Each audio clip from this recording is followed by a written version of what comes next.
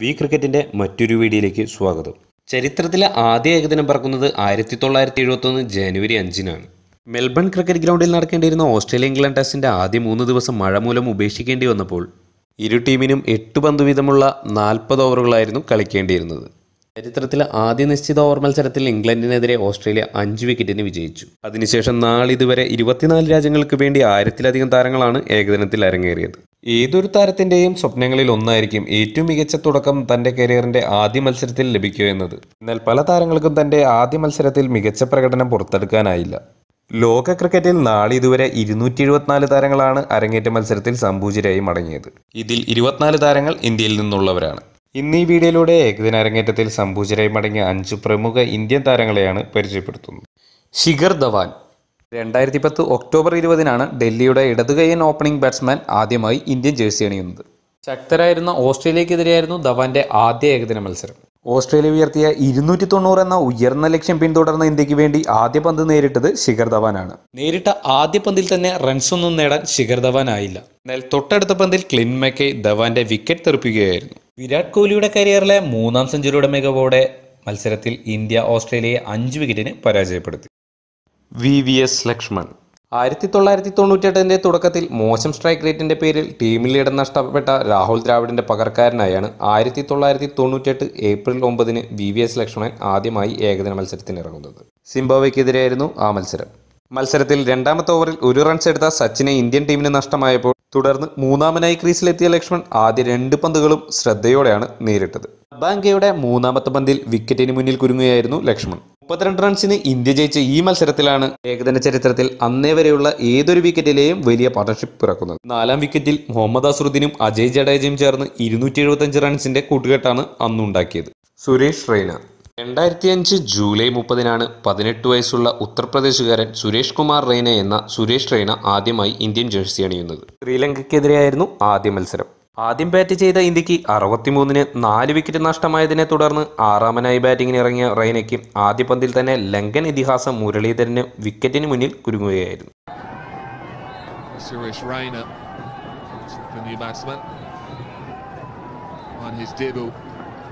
Another opportunity in the absence of Ganguly and Tendulkar. Ah! Loud appeal. He doesn't last long. Too much experience and guile from Muralidharan. India are in deep trouble. was certainly something which uh, a young batsman would find difficult to cope with. Muralidharan's Dusra pitched in perfect line as one saw it and coming back, in fact, hitting the pad uh, before the bat, and uh, there was no doubt about it.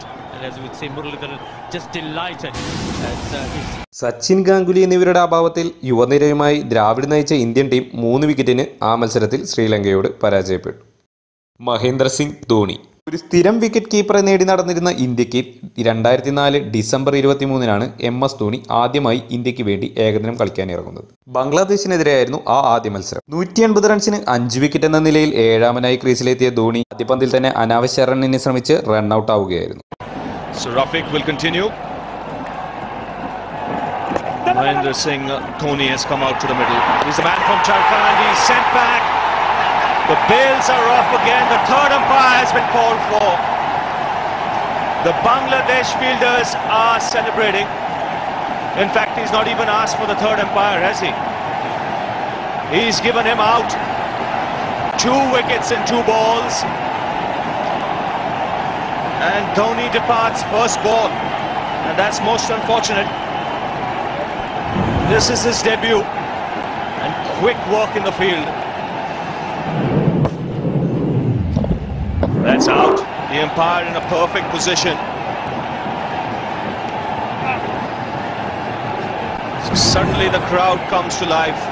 മത്സരത്തിൽ India പതിനൊന്ന് റൺസിന് ബംഗ്ലാദേശിനെ പരാജയപ്പെടുത്തിയപ്പോൾ wicket keeper എന്ന നിലയ്ക്ക് ധോണിക്ക് ഒരു ക്യാച്ചോ സ്റ്റംപിങ്ങോ നേടാനായില്ല Sachin Tendulkar cricket എന്ന് പറഞ്ഞാൽ ആദ്യം വരുന്ന പേര് അതെ നമ്മുടെ സാക്ഷാൽ ക്രിക്കറ്റ് ഇതിഹാസം സച്ചിൻ ടെണ്ടുൽക്കർ സച്ചിൻ ആദ്യമായി ഏകദിനം കളിക്കാൻ ഇറങ്ങുന്നത് ആയിരത്തി തൊള്ളായിരത്തി എൺപത്തൊമ്പത് ഡിസംബർ പതിനെട്ടിന് പാകിസ്ഥാനെതിരെയായിരുന്നു. നാൽപ്പത് ഓവർ വീതമായിരുന്ന മത്സരം മഴ മൂലം പതിനാറ് ഓവറായി ചുരുക്കിയപ്പോൾ ആദ്യം ബാറ്റ് ചെയ്ത പാകിസ്ഥാൻ ഒമ്പത് വിക്കറ്റ് നഷ്ടത്തിൽ എൺപത്തിയേഴ് റൺസ് നേടി. മറുപടി ബാറ്റിംഗിനിറങ്ങിയ ഇന്ത്യയ്ക്ക് വേണ്ടി അഞ്ചാമനായാണ് സച്ചിൻ ബാറ്റ് ചെയ്യാനെത്തുന്നത്. വക്കാർ യൂണിസിന്റെ ആദ്യ പന്ത് നേരിട്ട സച്ചിന് റൺസ് ഒന്നും നേടാനായില്ലെങ്കിലും തൊട്ടടുത്ത പന്തിൽ ഉയർത്തിയടിക്കാനുള്ള ശ്രമത്തിൽ വസീം അക്രത്തിന്റെ കൈകളിൽ ഒതുങ്ങുകയായിരുന്നു.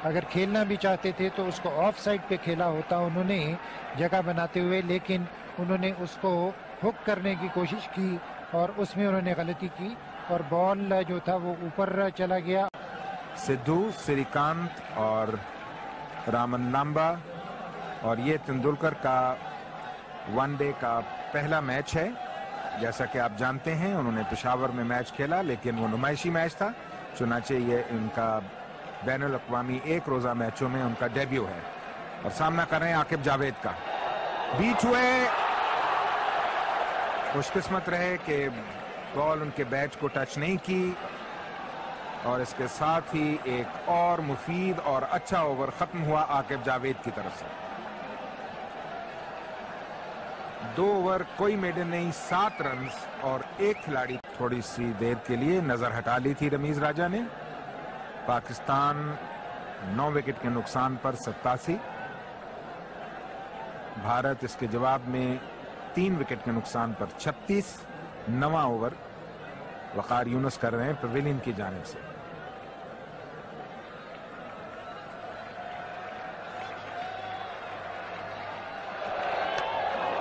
اور اس کو اونچی شاٹ کھیلی ہے، وسیم اکرم کوشش کر رہے ہیں بہت اچھا کیچ وسیم اکرم کا اور دوسری وکٹ وقار یونس کے لیے۔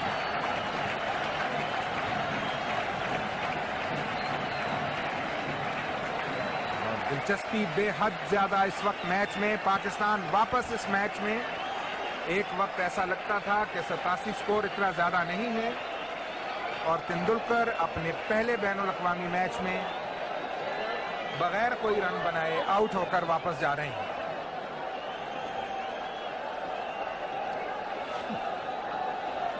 شارٹ پچ بال تھا، اس کو کھیلنا چاہتے تھے، صحیح طریقے سے بیٹ پر نہیں آئی، بہت اونچا کھیلا اور وسیم اکرم نے بہت ہی اچھے طریقے سے جج کر کے دوڑ کر اس کو کیچ کیا۔